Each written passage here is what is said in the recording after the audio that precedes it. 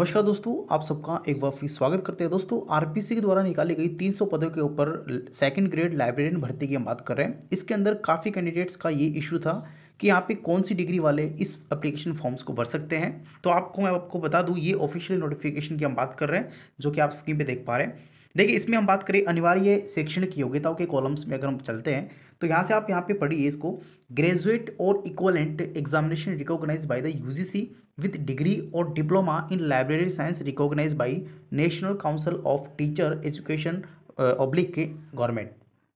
देखिए, इसका मतलब यहाँ पे ये यह होता है कि आपके पास में ग्रेजुएशन आपके पास में ग्रेजुएशन जिसमें आपने कर रखी है। एनीवे anyway, आप जिस सब्जेक्ट में आपने कर रखी है साथ यहाँ पे हम बात करें कि ये जो डिग्री है जो यूजीसी अप्रूव्ड जिस यूनिवर्सिटी से आपने बी का कोर्स किया है जिससे भी आपने किया है, चाहे कोई भी हो, चाहे वर्धमान हो, चाहे आरयू हो, या फिर अनेक प्रकार की जो यूनिवर्सिटीज़ हैं प्राइवेट वो हो, या फिर किसी भी अथोराइज यूनिवर्सिटीज़ जो कि यूजीसी अप्रूव्ड है, उसके द्वारा जो बिलीव का आपके पास में सर्टिफिकेट मिला है, या फिर डिलीव का आपके पास सर्टिफिकेट मिला है, दोनों ही इस भर्ती में अलाउ है।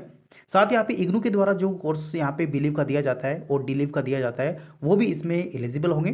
तो यहाँ पे ये कभी भी इसमें ये चीज़ नहीं लिखी हुई है कि इसमें प्राइवेट होना चाहिए, फिर गवर्नमेंट से आपने जो भी किए, यानी आपके पास में सिंपल बिलीव और डिलीव की डिग्री आपके पास में होना चाहिए। यूनिवर्सिटी आप किसी से भी या फिर किसी भी स्टेट से आपने की हो। साथ यहाँ पे हम बात मैं आपको बता दूँ